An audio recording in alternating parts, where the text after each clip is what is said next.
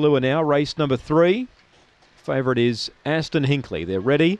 Racing, Aston Hinkley fair to begin. Springvale Hope did have speed. They're booting up inside. Tarkia will be first over and led the way. Springvale Carla hugs the inside though and rails up to take the lead. Aston Hinkley's on the way forward, gets to second. Springvale Hope's back in third, three lengths away. Then my boy Tyler Tarkia and Speed Axel and Haley M. Cole, the last pair, but Springvale Carla got away. Three lengths the margin now of Aston Hinkley, then Springvale Hope, but Springvale Carla's in front, and Springvale Carla won by three. Aston Hinkley second, Springvale Hope third, fourth My Boy Tyler, uh, gapped into Speed Axel, and Tarkia beat one in. That was Haley M. Cole, and the time is pretty good.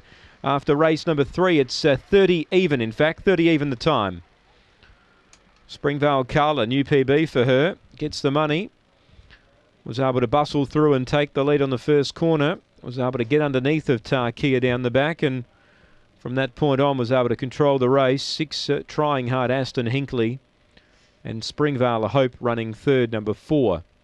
30 even the time. Three gets fourth, my boy Tyler. One, six, four, and three. One, six, four, and three. 30 even the run. 12.86 on the way home. Four and a quarter by two and a half. Four and a quarter by two and a half.